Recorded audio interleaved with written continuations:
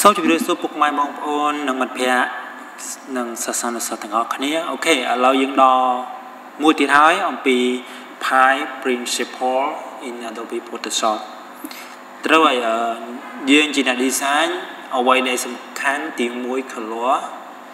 ទី2 font ទី3រូបភាពដូចជារូបភាពដែលយើងដែលយើងថតហ្នឹងប្លង់ background សាយ layout មួយៗដែលយើងត្រូវកំណត់យើងគឺគឺសំខាន់ដូចគ្នាប៉ុន្តែសម្រាប់ខ្ញុំគិត font បើយើងចេះលេង font ស្អាតធ្វើឲ្យរូបភាពវាមានសភាពស្អាតមែនតើចាប់អារម្មណ៍មាន layout ច្បាស់លាស់កំណត់អូខេឥឡូវយើងនឹងសិក្សាពាក់ព័ន្ធនឹង Pi ប្រភេទ Pi អូខេ alright ឥឡូវយើង Pi តើ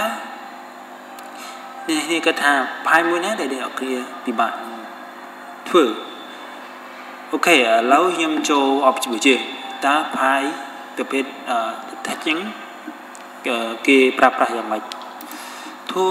touch គឺអក្សរ T តំណាងឲ្យ touch នេះហើយឬក៏យើងចុចអក្សរ touch T ក៏បានចុច T មក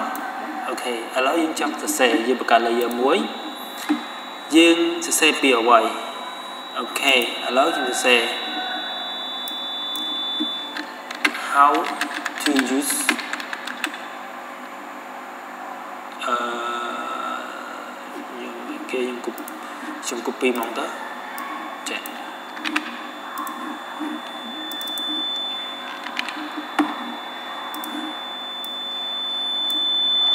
អូខេ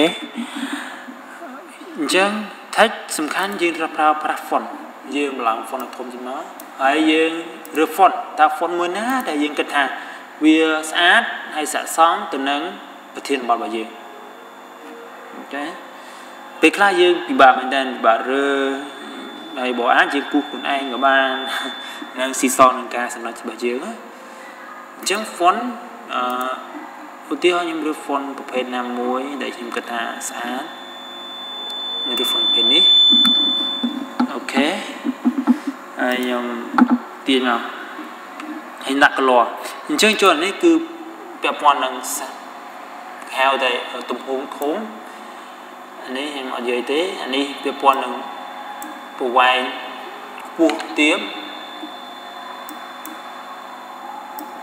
យើងឃើញយើងទៀន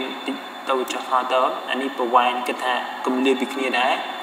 អានេះគិតពីគម្លាតពីគ្នាដែរអានេះគិតពីគម្លាតពីគម្លាតអសរដូចគ្នាហើយយើងនេះអត់ទេទៅអានេះពាក់ព័ន្ធនឹងអឺ សតធំអីនេះតែនេះអានេះអសធំទាំងអស់អញ្ចឹងទៅហើយអានេះវាធំដុតធំយ៉ាងនេះអូខេអានេះវាទូចខ្លាចជាទូចហើយខ្លាចជាឡើងលើជាការ៉េអញ្ចឹងទៅហើយនេះឈូតអញ្ចឹងទៅអញ្ចឹងខ្ញុំសូមបង្ហាញត្រឹមហ្នឹងឧទាហរណ៍យើងចង់គូសជារង្វង់តែយើងគូសរង្វង់មិនអូខេហើយយើងបង្កើត set មួយចុច U ឬក៏ sit U រង្វង់អូខេរង្វង់ sit U យើងចុច sit ជាប់វាបង្កើតចេះokay បានរង្វង់មួយហើយ